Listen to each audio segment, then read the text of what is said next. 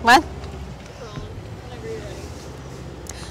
Hey guys, it's Ashley with 3R Sales. Uh, today we're looking at a 5x8 single axle trailer. Um, start over. To the side is a 55 gallon, um,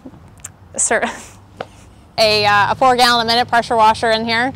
So if you wanna come take a look. Um, they have a lot of similarities. When you're ready.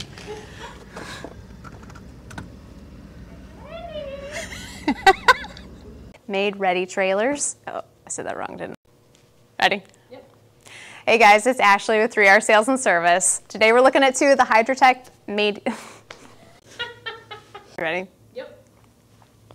Hey guys, it's Ashley with 3R.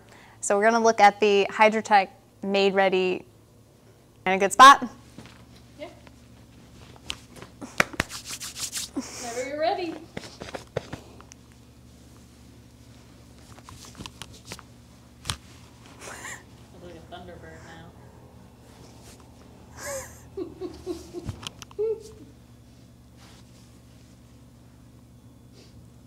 Are you recording the whole time? Yeah, I, anytime I say whenever you're ready, I'm already recording. All right. Start over. This is one of our custom ready-made I know. I know. Rolling.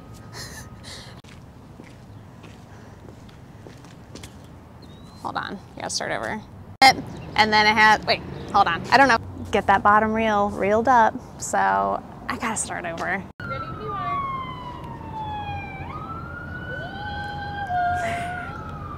Uh, acid and then the alkaline. I gotta start over. Show down here.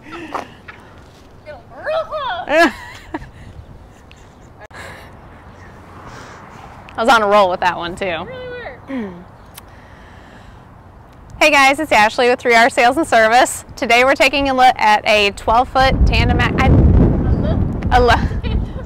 Uh, we have the custom built manifolds here for uh, for water feed, for easy winterization, and, and if you have any questions or anything, let us know.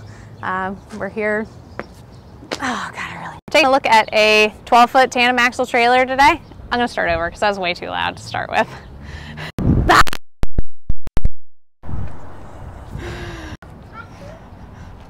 I don't know what to do anymore. You ready?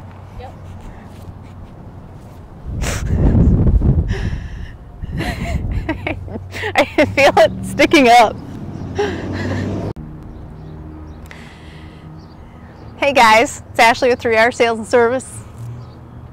I gotta start over. I knew that was gonna happen. Knew it. Drawing chemical to bypassing the injector and um, you gotta start over. Individual components. uh, Let me start over.